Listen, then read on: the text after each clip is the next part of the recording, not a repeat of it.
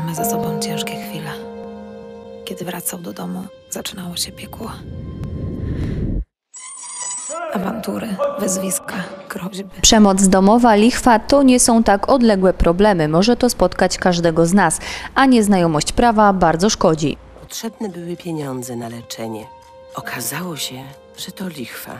Nie stać mnie było na spłatę pożyczki. Komornik zajął moje mieszkanie. Brak wsparcia potęguje jeszcze nasze problemy. W Zagłębiu powstają punkty Funduszu Sprawiedliwości.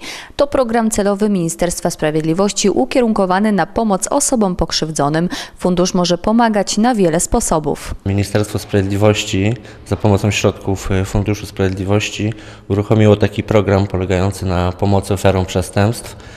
E, Program skierowany jest e, do mieszkańców całego kraju, natomiast my tutaj na terenie Zagłębia Dąbrowskiego, to jest w Sosnowcu, w Dąbrowie, w Będzinie oraz w Jaworznie, tworzymy takie ośrodki i punkty pomocy. Zapraszamy wszystkie osoby, które zostały pokrzywdzone różnego rodzaju przestępstwem. Chodzi o oszustwa, wyłudzenia, kradzieże, e, spłaty alimentacyjne, no wszelkiego rodzaju przestępstwa.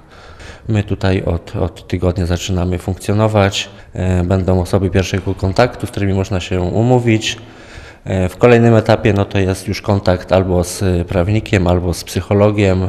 E, Dysponujemy też środkami, żeby pomóc w jakiś sposób materialnie.